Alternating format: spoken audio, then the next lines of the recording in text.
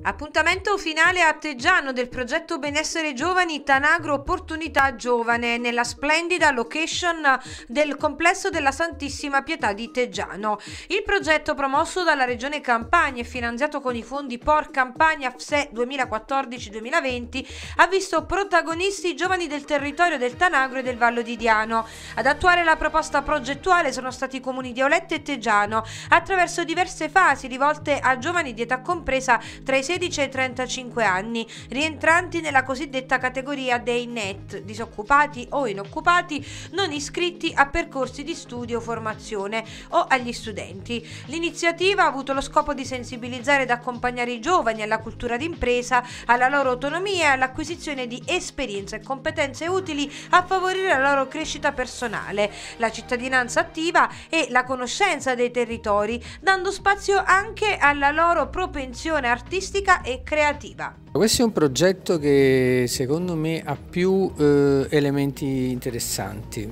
Uno dei primi è il fatto di eh, eh, legare due realtà territoriali, due comuni e già questo diciamo, è un elemento di forza diciamo, di questo progetto. L'altro elemento molto interessante eh, è l'idea di lavorare su tre laboratori diversi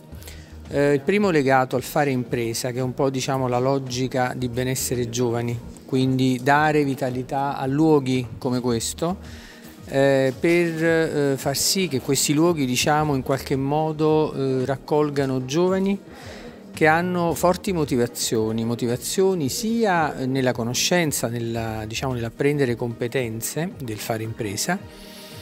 e legando pure poi eh, un secondo laboratorio che è quello classico diciamo, della cittadinanza attiva, dell'educazione, della cultura e ci sono alcune parole chiave di questo progetto che mi sembrano molto interessanti. La prima parola chiave secondo me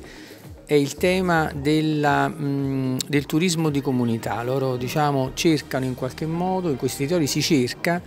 eh, di eh, in qualche modo di legare capitale materiale e immateriale per poter formare ragazzi eh, e dargli l'opportunità di fare turismo, eh, quel turismo che oggi viene chiamato un po' sperimentale, quindi le persone no, amano molto dire, provare, saggiare dei posti anche attraverso diciamo, la cultura del posto. E la terza diciamo, tematica è un po' legata non solo alla cittadinanza attiva ovviamente, ma anche poi al tema diciamo, della pratica, cioè del laboratorio pratico, diciamo, sperimentale che significa eh, fare impresa, eh, imparare diciamo, a crescere e il tema della responsabilità. Le attività quando sono rivolte ai giovani sicuramente sono, sono fatte bene, a prescindere dai risultati. Questo è sicuramente un risultato eccezionale perché dei progetti svolti nella regione Campania, dei pochi già arrivati al termine, è il nostro. Quindi non posso che essere soddisfatto, soddisfatto per le attività dei ragazzi che sono stati veramente bravi, soddisfatto per coloro i quali hanno progettato, quindi lo staff eh, del dottore Quagliano e veramente soddisfatti perché voi collaborare con il comune di Reggiano, con la città antica, è veramente una grande soddisfazione e poi la nostra città delle grotte. E due cose, due cose così importanti messe insieme non possono che avere un risultato ottimo.